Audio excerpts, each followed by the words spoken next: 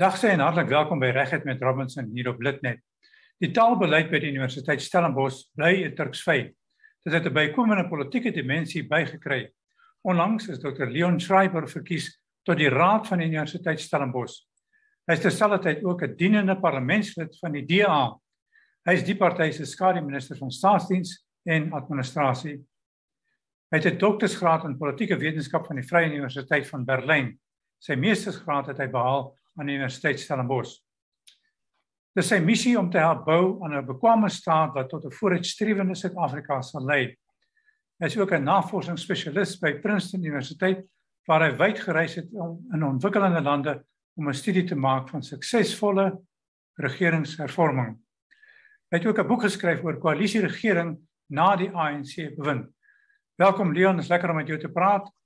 Steun die senior lede van die DA in jou party vir jou met jou standpunt rondom Afrikaans. Baie dankie Freek en uh, hallo ook aan die lidnet gemeenskap en en al die kykers. Ja, kyk, jy kan nie 'n uh, 'n uh, agterbanker wees uh, soos ek eintlik maar nog tot 'n groot mate is en uh en groot ehm um, spronge maak sonder die die ondersteuning van die uh nasionale leierskap nie. So John Steenhuisen self was uh ek dink dit was verlede jaar self op uh, die Maties kampus gewees toe ons die eerste keer gehoor het van hierdie aantuigings dat studente verbied is om Afrikaans te gebruik in koshuise en in sekere openbare ruimtes. So ek dink dit getuig uh, van sy persoonlike betrokkenheid. Ehm um, maar ook ehm um, basies deur die bank wat die nasionale leierskap betref. Uh, ons het natuurlik prosesse waardeur jy moet gaan om te sê dat jy 'n bepaalde kwessie wil aanspreek en in elke geval was hulle 'n bank vas agter my en die pogings op Stellenbosch. So dit is beslis 'n spanpoging en sommer nie net een ou wat uh, kan maak soos hy wil nie. Nou kom ons praat net maar blaatant. Die swart lede binne die party byvoorbeeld is uh, het enigeen van hulle soort van hulle ongemak met jou beleid of standpunt getoon. Jy sien Freek, die ek dink die groot die belangrike ding is om om die spesifieke situasie op Stellenbosch in die groter taallandskap en konteks ook te plaas. En ek dink sodra mense dit doen en jy wys dat dit gaan natuurlik oor die regte wat Afrikaanssprekendes het om aanspraak te maak op moedertaalonderrig, maar ook dat ons nie moedertaalonderrig na ander tale uh, kan uitbrei as ons jy weet wegvat nie, maar dat ons eerder moet toevoeg en bydra tot moedertaalonderrig. So ek kom natuurlik uit die Afrikaanssprekende gemeenskap en dit is waar my fokus val. Maar binne die DA soos jy sê, ek meen ons is 'n groot en diverse party met verskillende uh, taalgroepe en kultuurgroepe en die die belangrike ding wat ek ervaar het is juis dat omdat daar soveel uiteenlopende uh mense in die party is word jou saak juis sterker wanneer mense wat dalk nog nie Afrikaans sprekend is nie ook opstaan en sê maar uh hierdie is iets wat die moeite werd is om te dryf. So 'n praktiese voorbeeld is um ons woordvoerder op basiese onderrig wat nou nie um my portefeulje of of kiesafdeling is so Stellenbosch nie ehm um, is is Bakolilio Nodada en hy het regtig die voortou geneem wat betref uh voorgestelde wysigings aan die basiese onderwyswet wat die magte van ekskuus van taal van uh, skoolbeheerliggame oor taal en toelatingsbeleid ehm um, probeer wegneem. En ons weet natuurlik in die praktyk is dit iets wat veral in 'n plek soos Gauteng ehm um, eintlik maar geskryf is met uh, LER Panjasa Lesofie in gedagte en met Afrikaanse skole tot 'n groot mate ook in gedagte. En uh, daar's niks wat backs weerhou binne die DA al is hy nie Afrikaans sprekend nie om eintlik die voortou te neem op hierdie spesifieke kwessie ook omdat hy as individu van die Oos-Kaap afkom en graag wil sien uh, dat skoolopvoeding in moedertaalonderrig ook uitgebrei word na isiXhosa skole byvoorbeeld toe en verstaan daarom dat op die ouene van die dag as ons dit as 'n soort van 'n geveg tussen tale of groepe gaan sien, gaan niemand wen nie. Ons moet eerder opstaan vir mekaar se regte en belange. Maar die Vryheidsfront Plus sê byvoorbeeld dit is verdag dat julle julle skielik nou bemoei met Afrikaans en dat dit eintlik net 'n kwessie is van julle op Afrikaanse politieke waspring vir julle eie so van voordeel tydens verkiesings. Wel daar's twee maniere om om daai vraag te beantwoord of of of om die die teen die teenargumente bewys. Die eerstens is dat my betrokkeheid spesifiek as hulle nou sou praat oor oor my persoonlike betrokkeheid, ehm um, is voordat ek nog uh in die parlement was. Ek was voorheen op die institusionele forum van die US gewees en ek het dank uit daai forum uit juis uh omdat die 2016 taalbeleid in werking getree het wat Afrikaans tot 'n groot mate afgeskaal het. So uh, dis onsin om as dit nou oor my persoonlik gaan daai argument te maak. Ek is lank reeds betrokke hierby en ek voel persoonlik baie sterk oor die saak. Uh wat die party betref natuurlik dan as dit nou net oor verkiesings sou gaan, dan sal 'n mens ehm um, moes sien dat die DA net hieroor praat tydens verkiesings, maar dis nie so nie. Ons is ook betrokke met die stryd byvoorbeeld teen minister Blyden Zamande. Uh dis die DA wat daai hele kwessie oopgevlek het waar hy probeer sê dat Afrikaans is 'n uitheemse taal saam met Khoi en San tale wat natuurlik uh, verregaande is. Ehm um, maar ons het net weer verlede week uh, die kwessie gedryf oor uh, ons soek ons wil toegang hê tot die regsmening wat hy sê hy gebruik het om hierdie besluit te neem. Ons glo daai regsmening bestaan of nie of die reg, regsmening bevestig dat Afrikaans inderdaad ook 'n inheemse taal is. En uh, dit is iets wat ons aanhou dryf, aanhou werk aan ehm um, tussen verkiesings, voor verkiesings, na verkiesings, maakie saakie. So daar's voorbeelde soos dit, daar's voorbeelde soos ehm um, my kollega meneer Nodada se werk aan die wysigingswetsontwerp uh, op basiese onderrig en natuurlik is daar die Stellenbosch kwessie. Ek meen as dit nou net oor verkiesings gegaan het, gaan ek nou nie die moeite doen om uh, op die raad te dien en te probeer om van binne af ook die verandering te bewerkstellig nie. So skeptisisme is natuurlik goed.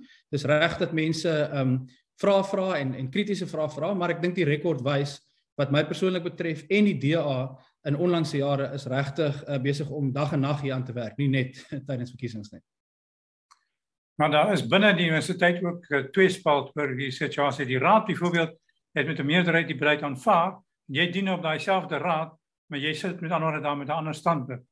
Is daar met ander 'n konflik wat hulle wat uitspeel tussen die twee van julle in die praktyk?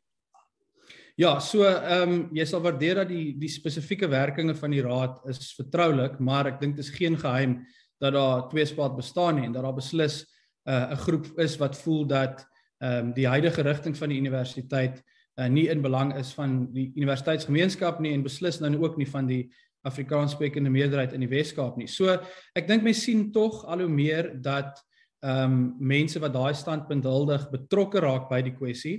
Ehm um, ons het byvoorbeeld gesien uh, organisasies soos die Dak netwerk het 'n betoging gehou hieroor en petisies gedryf. Ons as die DA het het het ehm um, duisende handtekeninge ingesamel rondom die nuwe uh, taalbeleid En soos jy sê, in die raad, in die senaat en beslis ook in die konvokasie waar daar eintlik 'n sterk meerderheid is van mense wat in gunste is uh dat Afrikaans net 'n gelyke plek moet hê aan Stellenbosch is ehm uh, is daar beslis ehm um, 'n ander mening wat gehuldig word. So dit is 'n voortsleepende kwessie en ek dink mense moet maar beide van buite die formele strukture ehm um, druk toepas en ek dink dis waar die DA 'n belangrike rol speel, ook natuurlik byvoorbeeld die menseregte kommissie ondersoek wat tans nog aan die gang is oor uh, wat ek genoem het vroeër die verbod wat in sekere koshuise geplaas is op die gebruik van Afrikaans.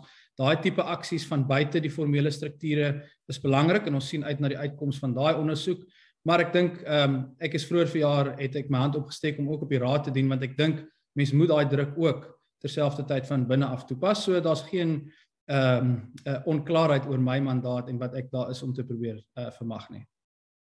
Maar wat gaan jy probeer vermag? Ehm um, want dit lyk vir my na 'n ding wat al besig is om na een kant toe te gaan en om daai waar om te keer gaan 'n bietjie moeilik wees. Ja, Frek, ek I mean ek is beslis onder onder geen illusies nie. Ek dink ook mense wat uh, vir 'n tydjie lank al betrokke is, weet dat daar baie sterk ehm um, ideologiese ehm um, druk is in 'n bepaalde rigting om ehm um, die universiteit te verengels en om ook ehm um, eintlik 'n soort van 'n vervreemding mee te bring tussen 'n groot deel van die Wes-Kaapse gemeenskap uh en dan is daar hierdie strewe na hierdie internasionale ranglyste en en hierdie globale uh denkwyse wat wat soort van die plaaslike gemeenskap dan ook agterlaat. So wat my betref, eerstens, ek dink uh, Stellenbosch is die laaste universiteit in die suide van die land met die vermoë om uh onderrig in Afrikaans aan te bied. En ek dink in 'n in 'n situasie ook waar die ander drie universiteite binne 60 km radius almal heeltemal vir Engels het, behoort daar 'n plig te wees op die een universiteit wat dit nog kan doen om uh die Afrikaanse aanbod op 'n gelyke voet te plaas as Engels. So dis waaroor dit gaan op die op die ouene van die dag, maar ek dink ook daar steek meer of laat ek so sê, die taalbeleid is een element van ek dink 'n groter ehm um, storie wat afspeel in ons universiteite. En en ek gaan nou baie eerlik met jou praat daaroor. Die wat gebeur het by die Universiteit van Kaapstad, UCT, uh is 'n is 'n is 'n rooi vlag wat almal in die maties gemeenskap bekommerd behoort te maak. Want daardie universiteit met die fee, met die Rhodes must fall fees must fall beweging het die destydse rektor Max Price uh, probeer ingee en toegewings maak tot op die punt waar ons nou weet ehm um, uh, professore soos in insluitend 'n um, 'n swart professor Majosi van die Universiteit van Kaapstad wat selfmoord pleeg oor die situasie binne klaskamers en hoe geradikaliseer dinge op daardie kampus geraak het. En die laaste ding wat dan gebeur is of is ordentlike opvoeding.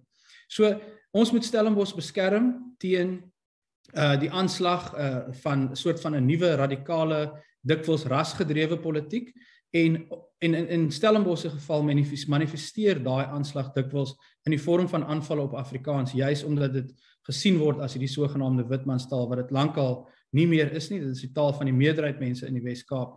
En ek dink is in daai breër konteks wat die taalkwessie gesien behoort te word. En ek glo soos jy sê daar is uh natuurlik baie sterk momentum gegee word die feit dat die ANC regering en minister Blyden se man die natuurlik 'n groot hoeveelheid lede ook op die raad van universiteite aanstel. So hy stel 5 lede persoonlik aan. Uh en en dit is in daai opsig dan ook 'n baie sterk politieke druk van die ANC regering se kant af.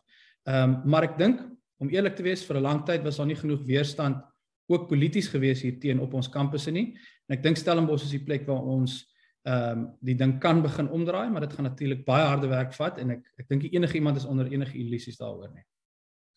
Wat sê jy van die standpunt van die rektor wat ehm um, sê in die openbaar dat dit is nie sy plig om Afrikaans te bevorder nie? Wel ek dink die rektor bewys daarmee juis ons punt.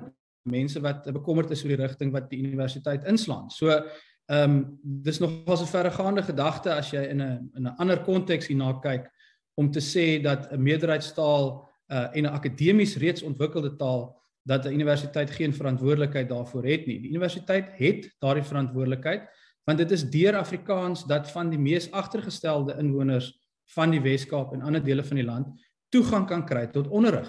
Die punt is natuurlik dat Afrikaans is ongelukkig om as gevolg van die mislukking om ander inheemse tale ook uit te bou, steeds eintlik maar die enigste een waar jy nou 'n volwaardige 12 jaar skoolloopbaan in 'n inheemse taal kan aflê. So dis wat dit anders maak as baie ander taalgroepe. Mense het vir 12 jaar lank op skool in Afrikaans geleer en gestudeer en nou kom hulle aan op 'n universiteit wat probeer aan die een kant voorgee dat daar steeds toegang is in Afrikaans, maar aan die ander kant die sentimente soos wat die rektor ehm um, daarso genoem het en hulle kan eenvoudig nie kompeteer met mense wat vir 12 jaar lank in Engels skool gegaan het en nou uh in Engels moet studeer ook nie. So beide van 'n 'n kulturele oogpunt, 'n taaloogpunt, maar ook 'n praktiese en en pedagogiese oogpunt. Maak dit nie sin om te sê jy het nie so verantwoordelikheid nie, want in effek wat jy dan sê is jy het nie 'n verantwoordelikheid teen daai spesifieke deel van die bevolking nie, alhoewel daai deel van die bevolking die meerderheid is in die Wes-Kaap. So ek dink uh ek ek verskil ten sterkste daarvan en dis presies daai tipe sentiment wat ons moet begin verander. En die universiteitsbestuur moet op 'n ander wyse begin ook praat oor hierdie kwessie en en begin luister na wat mense sê. Nou hoe moet hulle anders praat? Ek dink die eerste en belangrikste ding is eintlik voor die hand liggend is om te sê dat die manier hoe hierdie kwessie hanteer is die afgelope paar jaar was verkeerd geweest. Die die stellings wat gemaak is soos die een waarna jy nou verwys, ander stellings wat die rektor uh, en senior bestuurslede gemaak is uh dat jy weet uh, daar hierdie konflik bestaan tussen Afrikaans en die plaaslike konteks en dan hierdie globale uh wêreld waarin hulle wil meeding is 'n vals konflik. Die universiteit se impak in sy plaaslike konteks is juis bepalend vir uh vir die aansien en vir die status van daai uh, universiteit. So in die eerste plek moet daai moet daai valse narratief dink ek weggedoen word mee. Ek dink die tweede belangrike ding is dat wanneer die universiteit sê maar die vraag vir die, na die Afrikaanse aanbod neem af uh en so daar moet ons nou met die Afrikaanse aanbod afskraal, dink ek is ook baie keer um uiters oneerlik. Want wat gebeur as jy kyk na die na die statistieke rondom hierdie kwessie? Dis nou die universiteit se eie statistieke. Is dat sedert die 2016 taalbeleid in werking gestel is, het die vraag na Afrikaanse na die Afrikaanse leer en onderrig aanbod afgeneem juis omdat die kwaliteit van die Afrikaanse aanbod so afgewater is. So stel jou voor jy's 'n student wat verkies om in Afrikaans te studeer, maar jy kry notas wat op Google Translate vir jou gegee word. Jy kry toetse en eksamens wat jy nie ordentlik verstaan nie. Ehm um, die die aanbiedinge in die klas maak nie sin nie want dit word nie reg vertaal nie of in sekere gevalle is het jy in een klas die moontlikheid om iets in Afrikaans te kry en in jou volgende klas is dit net in Engels. Jy maak dit eintlik mos prakties onmoontlik vir so 'n student om te sê ek wil in Afrikaans studeer want die Afrikaanse aanbod is eenvoudig nie meer goed genoeg uh vir daai student om suksesvol te wees nie. So ek dink daar's ook 'n soort oneerlikheid wat omgekeer moet word en en die, en die universiteit behoort eerlik te wees oor die tekortkominge sodat mense kan help en sê kom ons spreek die kwaliteitskwessies aan ons ver, verbreed die Afrikaanse aanbod en ek sal ehm um, my kop op 'n blok sit en sê jy sal sien hoe die vraag na Afrikaans weer toeneem daar as mense weet dis op dieselfde standaard as Engels. Soos wat dit vir baie jare was vir ek ek het daar gestudeer tot op my honeursvlak alles in Afrikaans gedoen en ek het beslis nie agterweë gebly in vergelyking met Engelssprekende studente nie. Maar dit is ongetwyfeld sedert die 2016 taalbeleid so dat die kwaliteit so verswak het. En ehm um, en dan amper as op 'n manier ehm um, 'n soort van op 'n baie siniese manier gebruik word om te sê o maar die maar die vraag na Afrikaans neem af juis omdat die kwaliteit so swak is. Ek dink dis daai ingesteldheid wat begin moet begin verander. Maar jy sit op twee stoele, jy's aan een, een kant as jy 'n parlementslid en aan die ander kant dien jy op die raad van die Universiteit van Stellenbosch. Is dit nie 'n ongemaklike posisie om te hê op die twee stoele? Ek dink nie so nie. Ek het dit nog nog nie tot dusver so ervaar nie. Miskien as jy my oor 2 jaar vra, mag my antwoord anders wees. Maar op hierdie stadium dink ek dit is so belangrik dat die momentum wat daar is van buite die universiteitsstrukture ook oorgeskakel word na binne die strukture want soos ek sê vir 'n baie lang tyd met die mag wat iemand soos Blyden se mande het om uh mense aan te stel op die raad en op 'n manier eintlik 'n meerderheid te bewerkstellig uh op hierdie wyse Ehm um, help dit nie so baie as jy van buite af druk plaas, maar binne in die raad is daar min mense wat verstaan waaroor die kwessie gaan nie. So ek dink ons het onlangs gesien die verkiesing van advokaat Jan Henes, die president van die konvokasie, ehm um, en ook die verkiesing waar ek en nog 'n raadslid verkies is, is mense wat verstaan wat aangaan, waar die druk van buite die universiteit af, waar dit vandaan kom en waar die oorsprong lê. En so ek dink dit is uiters belangrik om daai simpatieke oor te hê aan die binnekant van die raad ook om daai tipe ehm um, druk om te skakel binne daai struktuur waar die besluite geneem word. Ehm um, so ons sal nog sien uh, of dit ongemaklik raak. Ek vermoed om baie eerlik te wees met jou, dis hoogs ongemaklik vir die rektor en vir mense wat deur minister Nzimande aangestel word om my daar te hê. Want vir 'n baie lang tyd uh het die ANC maar gemaak soos wat hulle wil by ons universiteite en op die rade omdat die minister hierdie ingeboude meerderheid het wat betref die aanstellings. Daar's nou druk en teenkanting van die amptelike oppositie in die vorm van die DA en natuurlik is ons ook die regerende party in hierdie provinsie in die Wes-Kaap. En ehm um, as jy nou politieke speletjies gaan speel waar jy gaan luister na die ANC en sy uh en sy vereistes, dan moet jy nie kla wanneer die DA sê okay, maar dan speel ons saam nie en ook ehm um, duidelik maak waar wat ons wil hê moet gebeur nie. En daar is nog 'n hofsaak wat uitstaande is oor rondom die kwessie van moedertaalonderrig, is dit nie? Dis reg ja. So ek dink as daar's twee groot kwessies ehm um, wat nog uitstaande is wat wat 'n groot impak op hierdie debat kan hê. Die eerste een is die Menseregte Kommissie ondersoek waarna ek verwys het. Uh dit gaan spesifiek nou meer wil ek amper sê die informele ruimtes van die universiteit soos die ehm um, koshuise en openbare uh, plekke soos parkies en so wat daar tydens die verwelkomingstydperk vir nuwejaarsstudente 'n uh, nuwelingstudente gesê is uh, moet maar liewer die Afrikaans praat hier dis 'n uitsluitende taal jy weet daai tipe narratief. So ons sal kyk en ons hoop dat die menseregte kommissie ehm, 'n um, bevinding sal maak in, in daai verband binnekort. Dan is daar die hofsaak waarna jy verwys. Dit is nou saam met die DA en Studenteplein, 'n studenteorganisasie en ek wil sommer so 'n loop sê Freek, uh, dis nou lank van verkiesings af en ons druk hierdie ding nog steeds en ons en ons spandeer die hulpbronne op hierdie saak. So uh, dis regtig onsin om te sê dat dit uh, net in verkiesingstye gebeur. Hierdie hofsaak, ons het nou 'n hofdatum gekry vroeg in Augustus en dit handel oor die ehm um, besluit wat geneem is deur die universiteit toe die pandemie, die COVID pandemie uitgebreek het om te sê omdat uh, baie van die leer en onderrig nou aanlyn gaan gebeur dat ons nou nie meer hoef te hou by ons taalbeleid se vereiste dat daar Afrikaanse materiaal in sekere omstandighede beskikbaar gemaak word nie. Met ander woorde, die COVID pandemie is baie vinnig as 'n verskoning gebruik om ook daai laaste paar klasse waar daar nog hierdie reg bestaan het ook weg te neem en die groot probleem vir die universiteit is dat hulle ook nie die prosesse in hulle eie taalbeleid gevolg het om hierdie besluit te neem nie. En ek dink dis waarop die hofsaak gaan fokus. Ehm um, daar was so hastigheid en 'n dringendheid van die bestuur se kant af om hierdie geleentheid te gebruik. En ek meen, toe COVID uitgebreek het, mense sal nou dink die laaste ding waaraan iemand gaan dink is hoe hoe kan ek nou die Afrikaanse aanbod verskraal? En tog is dit wat op, op die Universiteit van Stellenbosch gebeur het en ek dink dis tekenend weer eens van die ingesteldheid wat moet verander en ons uh, sien uit om daai hofsaak ook te wen. Ek dink daai twee prosesse gaan 'n groot impak hê op hierdie kwessie. Goed, maar wat spesifiek het julle teen die taalbeleid soos wat hy nou staan?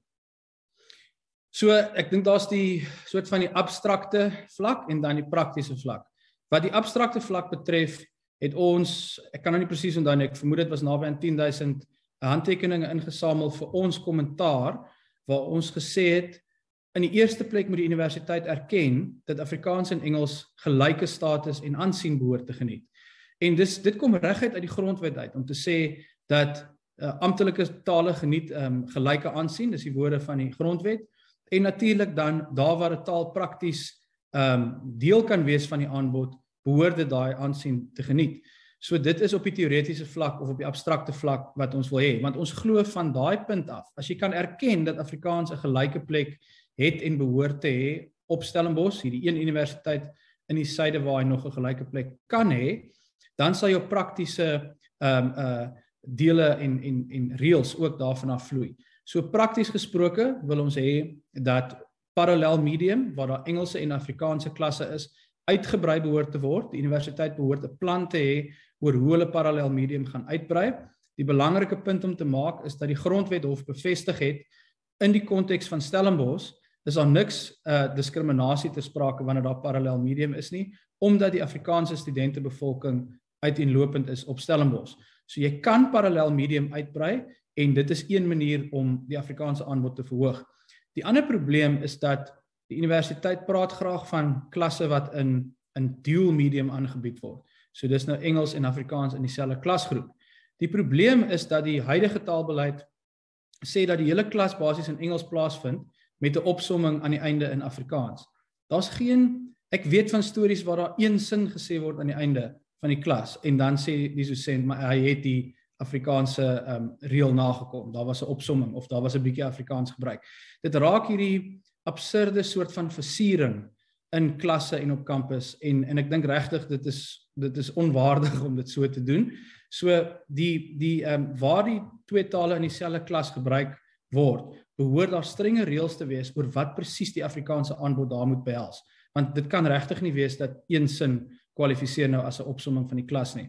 Die derde ehm um, meganisme wat wat bestaan is natuurlik enkel medium klasse en dit word gewoonlik gebruik wanneer 'n klas nou oor die spesifieke taal self handel. So ek dink daai is die drie meganismes. Parallel medium is die grootte waar daar baie meer fokus moet wees en natuurlik tegnologie maak soveel dinge moontlik uh Frek as jy kyk na hoe jy onderskrifte kan doen, hoe jy vertalings kan doen, oorklanking kan doen. Daar is 'n hele wêreld van nuwe moontlikhede wat oopgegaan het met tegnologie en as die universiteit weer eens die regte ingesteldheid gehad het, dan kon ons nou 'n baie ander gesprek 'n ander soort gesprek gevoer het. Dit lyk na 'n refrein dwars deur daardie beleid uh soos wat hy nou aanvaar is deur die raad dat dinge kan gedoen word waar redelikerwys doenbaar is. Met ander woorde dis so proviso so ja waarskuwing om te sê nee wat as die finansies druk dan is Afrikaans onmiddellik uit. Freek, dis een van ons kommentare gewees. Ons het gevra vir 'n definisie. Wat beteken redelikerwys doenlik? En uh, ons het dit nie gekry nie. Die universiteit het gesê uh, dis baie moeilik. Hulle sukkel om 'n om 'n definisie uh, vir ons te gee. Nou, hoe kan jy so ek meen soos jy sê, daai spesifieke sinsnede word heeltyd gebruik as 'n soort beperking op die Afrikaanse aanbod, maar nêrens word dit omskryf om te sê hier is wat redelikerwys doenlik is en en hier is wanneer dit nie is nie.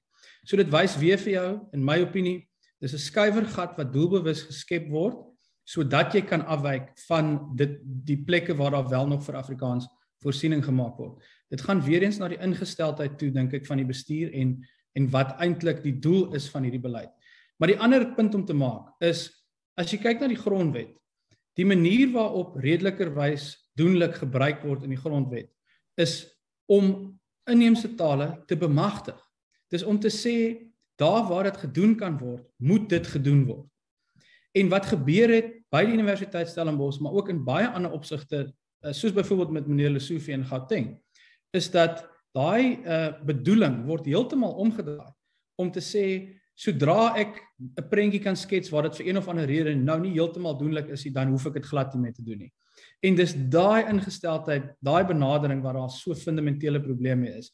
Die universiteit behoort juis te soek vir al die geleenthede wat bestaan om die Afrikaanse aanbod en ook die isiXhosa aanbod wat ook nou deel is van die taalbeleid te verhoog oral waar jy 'n geleentheid kry om dit te doen. In plaas daarvan word daar heeltyd gesoek vir 'n geleentheid om dit af te skaal en af te water en dis waar die probleem lê. Nou Leslie van Rooi, die taalwoordvoerder van die Universiteit van Stellenbosch, sê die beleid is morsig en ingewikkeld. Stem jy saam? Ek stem saam, Freek, maar ek verstaan nie of dit nou bedoel word as 'n kompliment nie, want uh, op my oor klink dit nie na 'n kompliment vir enige beleid nie. Die ek dink weer eens wat daar gebeur is dat die beleid ehm um, weet daar dit word so kompleks gemaak. Daar word al hierdie skuiwergate bygesit, al hierdie uh afwykings wat ingestel word eintlik met die doel omdat die universiteit nie eintlik bereid is om te sê die doel van hierdie beleid is maar eintlik om Afrikaans verder af te skaal tot die punt waar dit nou maar net 'n Engelse universiteit is nie. So nou gebruik jy al hierdie komplekse woorde en al hierdie reëls en goed bo op mekaar om heeltyd vir jouself te kan sê kyk maar hierdie een sinnetjie in die beleid hy sê iets mooi oor Afrikaans so jy kan ontspan. En dit het ons gesien gebeur in hierdie proses. As jy gaan kyk na die voor in die beleid waar daar gepraat word oor beginsels Daar's lang refreine wat geskryf word oor hoe pragtig en wonderlik Afrikaans is. En natuurlik stem ons saam daarmee. Maar die oomblik wanneer dit kom by die praktiese implementering of die betekenis op die grond van die beleid, dan val daai heeltemal weg. So ek dink meneer van Rooi is heeltemal reg dat dit 'n kompleks en morsig is en op die einde van die dag eintlik ehm, 'n um, belediging is as jy vir vir Afrikaans sprekende studente sê maar Afrikaans het 'n gelyke plek hier maar op 'n morsige en uh, slordige manier. Uh so ek dink hy's reg daar. Ek dink dalk dis wat nie wat hy bedoel het nie. Hy het dit op 'n positiewe manier bedoel. Dis nie positief nie. Dit getuig van 'n bestuur wat probeer micromanage en sê hier en so en so kan jy nie Afrikaans gebruik nie. En dis nie die regte ingesteldheid om te hê nie. Tegnies is die taal uh, beleid raamwerk soos wat die regering dit noem uh, reeds in werking gestel vanaf die 1 Januarie. Hoe sien jy nou die proses vorentoe loop? Ek ons ons het gepraat oor hofsaak en so aan. Maar dink jy hierdie saak kan op die spits gedryf word vanjaar nog? Ek dink dis moontlik vreek. Ek dink ehm um, natuurlik ek, ek neem aan wanneer jy verwys is hierdie definisie of die omskrywing wat gebruik word wat sê dat inheemse tale is net tale wat behoort aan die Suid-Bantu taalfamilie. So dit sluit per definisie dan Afrikaans sowel as Khoi en ja. San tale uit. So ehm um, ek moet eerlik wees met jou. Ek wil graag hê dat hierdie geveg gewen moet word deur die burgerlike samelewing en nie deur die howe nie. Die rede hoekom ek dit sê is dat ek dink as ek kyk na meneer Nzimande se se houding, ek het vir hom vrae gestel, mondelingse vrae gestel hier oor in die parlement en hy het afgegaan uh, dit was dit was nogals ehm um, ja dit dit was nou nie 'n mooi prentjie nie die manier hoe hy afgegaan het uh, toe ek vir hom gevra het hieroor hy het hierdie indruk dat uh, hierdie kwessie onbelangrik is en dat dit net hierdie soort van klein groepie malles en radikales is wat graag wil hê Afrikaans moet as inheems gesien word. Hy hy dink dis dis onbelangrik en onbenullig. En ek sal regtig verkies dat natuurlik die DA ons plek om te speel, maar ons erken ook al die burgerlike organisasies wat betrokke is by hierdie kwessie. Dit sal vir my soveel meer bevredigend wees en ek dink 'n sterker boodskap stuur as ons dit deur um, openbare druk gedoen kan kry eerder as deur die howe. Nou, dit gaan dalk so klein bietjie langer vat, Maar ek dink ons is naby aan 'n keerpunt want soos ek sê, die minister het deeltyd aanspraak gemaak op hierdie regsmening wat nou ehm um, kamstig, jy weet, vir hom skiet goed gegee het vir hierdie definisie. Die feit dat hy nou al vir 4 maande lank uh weier om om vir ons die ding te stuur, uh, uh dit sê vir my dat daar fout is. Daar's of 'n situasie waar daai beleid sê Afrikaans is inheems, in watter geval sy hele argument natuurlik uitmekaar val of die regsmening bestaan nie. Nou as ons die tweede een kan bevestig dat daar nooit 'n regsmening was nie, dan sal ons moet kyk na die die hofroete want uh, dan se hele proses natuurlik nou ongeldig as die minister gelieg het in die parlement en as die as daar nie ordentlike ehm uh, regsfundering is vir vir hierdie beleid nie. So die kort antwoord is ek glo dis moontlik hierdie jaar, maar ek dink nog meer belangrik as om om dit hastig te doen is dat ons dit moet doen op 'n op 'n wyse wat dit duidelik maak dat dit nie nooit weer op hierdie manier aangepak kan word nie. So dis jy weet dit is polities en ek sal toegee dit is polities want ons moet 'n politieke boodskap stuur vir ek. Miskien is dit die heel belangrikste ding wat ek vandag wil sê. As die aanslag teen moedertaalonderrig en teen Afrikaans polities in oorsprong is en polities gedryf word, dan is politieke teenkante ononderhandelbaar om weerstand te bied en hopelik die situasie te begin omkeer. En dis om daai rede dat ek nie verskoning sal maak daarvoor dat ek nou toevallig ook 'n politikus is wat baie sterk voel oor hierdie kwessie nie. Ek dink juis dit sit ons plaas ons op 'n sterker voet wanneer die parlement 'n forum word om hierdie goed te bespreek. Wanneer politieke partye sê maar luister, ons gaan nie langer net toelaat dat die ANC wegkom met hierdie optrede nie. So ek glo ons gaan nog vir meneer Nzimande 'n les leer.